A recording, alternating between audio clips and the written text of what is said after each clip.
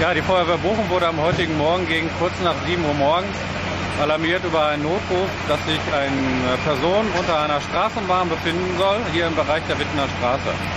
Der ausrückende Rüstzug der Feuerwache 3 äh, fand an der Einsatzstelle eine männliche Person vor, die im vorderen Bereich der Straßenbahn unter den Triebwagen geraten war.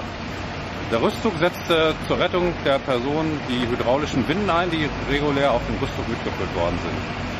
Der anwesende Rettungsdienst versorgte, versorgte die Person, die nach relativ kurzer Zeit zügig unter der Bahn gerettet werden konnte und wird den Jungen in eines der umliegenden Krankenhäuser transportiert. Zurzeit können wir über die Verletzung äh, der männlichen Person noch keine Angaben machen. Das wird sich erst im weiteren Verlauf des Einsatzes dann darstellen.